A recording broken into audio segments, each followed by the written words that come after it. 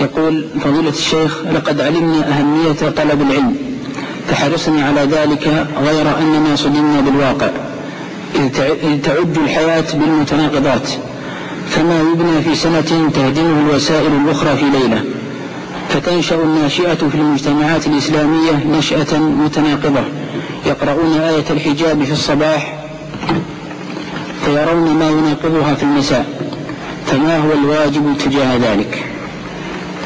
هذا هو الابتلاء والامتحان. ولا سيما في آخر الزمان؟ في زماننا هذا وفي آخر الزمان. وفي غربة من الدين. فلا بد من الصبر. كما اخبر النبي صلى الله عليه وسلم أن زمان الصابر على ذلك القابل على الجنه ويقول صلى الله عليه وسلم بدأ الإسلام غريبا وسيعود غريبا كما بدأ فطوبى الغرباء. خرج مسلم في الصحيح. زاد غيره. إذا أصبحوا غرباء غير غرباء قال الذين يصلحون إذا فسد الناس.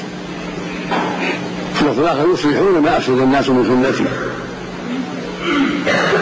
وفي حديث أبي ثعلبة العامل منه أجر خمسين فإذا رسول الله منا أو منه قال بل منكم. وأسباب ذلك قلة الأنصار والأعوان وكثرة المهالك والشبه. وكثرة طرق الضلالة والدعاة إليها.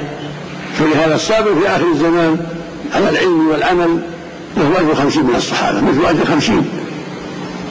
لأنهم يجدون أعوانا وفي أول الزمن وفي أول مجيء الإسلام وفي نشاط الإسلام وفي نشاط المسلمين وقوة الإسلام وقوة المسلمين وكثرة الأعوان واندحار الأعداء. أما في آخر الزمان فالعكس كثرة الأعداء وكانت دعاة الضلالة وقلة الأنصار.